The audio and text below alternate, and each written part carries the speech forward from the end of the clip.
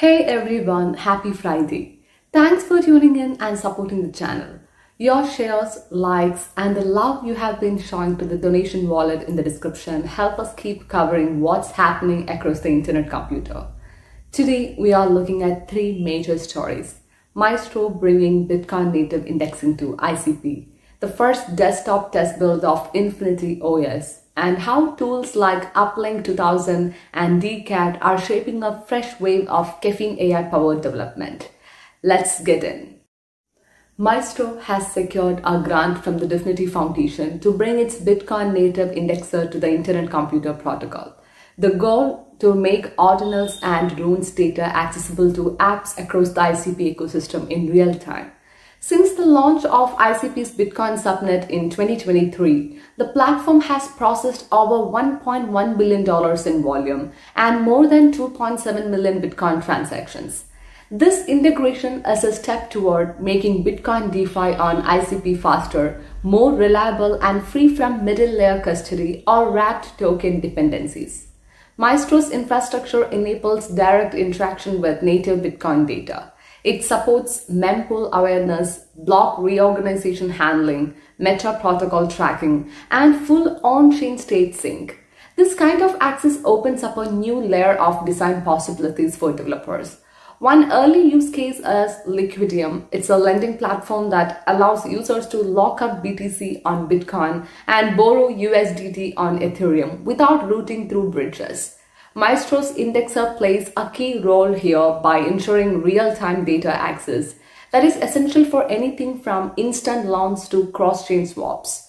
The grant will also help open source the indexing engine, making it available to other developers building on ICP.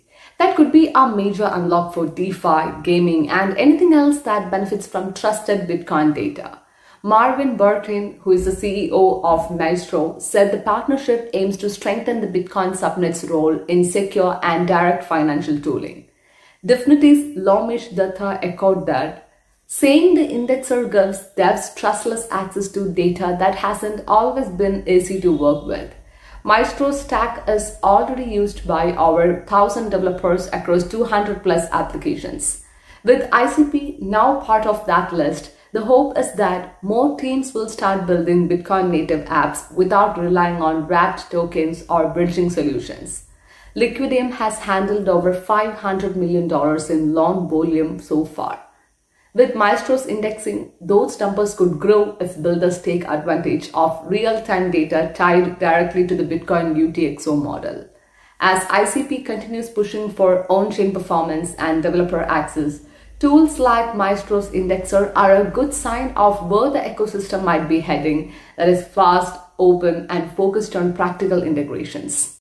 The first desktop version of Infinity OS has dropped. It's an early build version 0.9 created by developer Dexter and powered by Caffeine AI.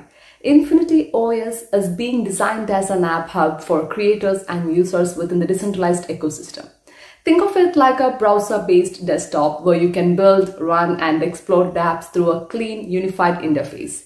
What sets it apart is that everything runs within one downloadable environment, removing the clutter of open tabs and multiple logins. Developers can build directly inside the OS, while users can discover apps by others without needing separate installations.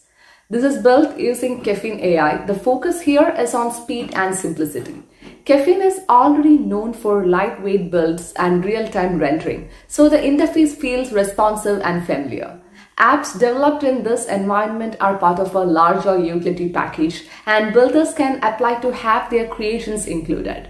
Right now, the release is in testing mode. Some features are still being refined and others are awaiting feedback, but the core concept is already taking shape. It's an operating system for the decentralized app world that's flexible enough for builders and friendly enough for everyday use. What's most compelling is the direction. Infinity OS could become the default workspace for people working across the IC and Caffeine ecosystems. If the project continues to evolve, it might solve the fragmentation problem we often see in Web3 tooling.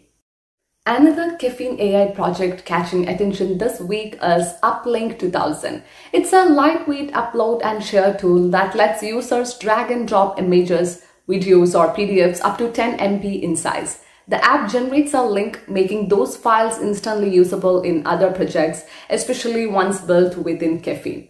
The UI is minimal but functional. There is no login friction or account creation. You upload, get your link and use it. A tipping address is included for anyone who wants to support the project with ICP.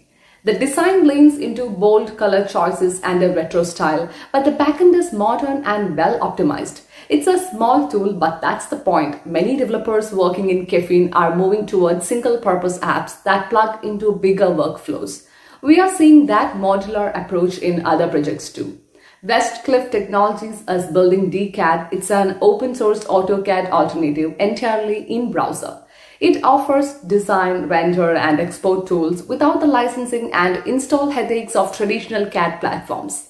The $12 billion CAD market has long been dominated by expensive software.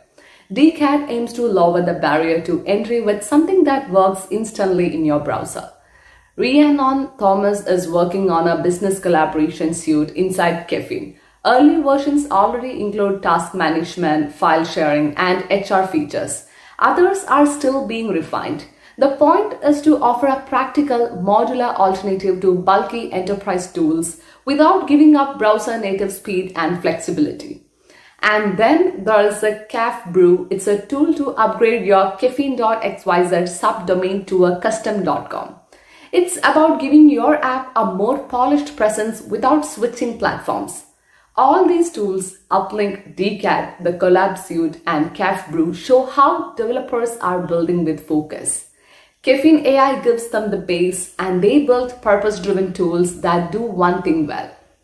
That's it for today. If you would like to support Ledger Life, the donation wallet is in the description. You will also find links to the projects we covered and if you haven't already, grab our newsletter. It's out now and covers all the stories we couldn't fit here. Thanks for watching.